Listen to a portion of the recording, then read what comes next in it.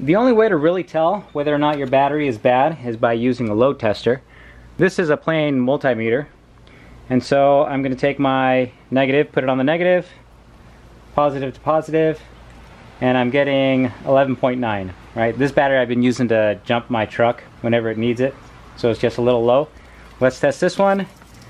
Negative to negative, positive here, 12.51. So you'd think that this is a better battery, but how you really tell is with the load tester.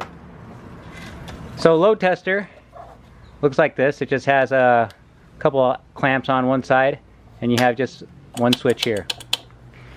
So let's take this one, hook it up. Right? Right now we see that it's reading just on the upper side of bad, right? And when I throw the switch, it stays there.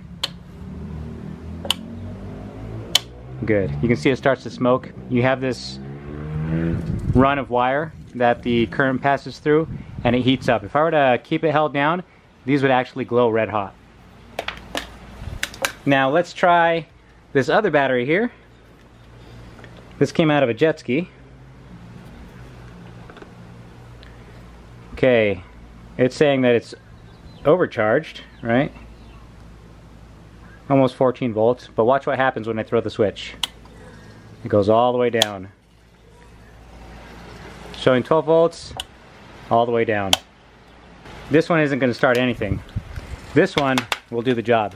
Now you may not have a load tester, but what you can do is take it to any place they sell batteries and they'll test it for you and tell you whether or not it can still be charged or you just need to buy a new one. So if you have a lot of batteries that you're dealing with, it's definitely worth the investment.